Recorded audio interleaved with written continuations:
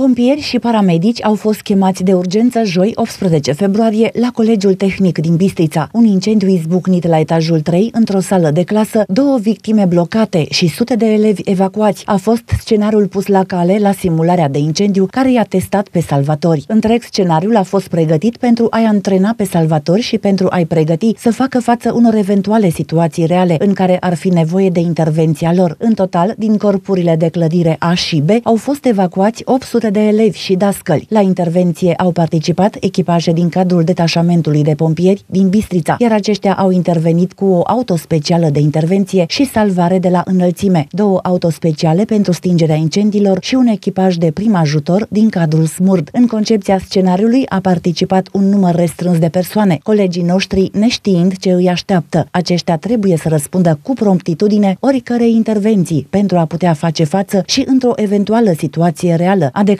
pentru bistrițeanul.ro purtătorul de cuvânt al ISU Bistrița Năsăud.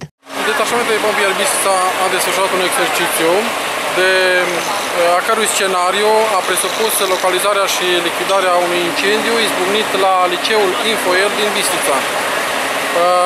La exercițiu a participat un echipaj de descarcerare, trei de lucru cu apă și spumă și un echipaj de prim ajutor. În, la acest exercițiu am salvat și câteva persoane rămase în incinta liceului, precum și, cum v-am spus, localizarea și stingerea unui presupus incendiu.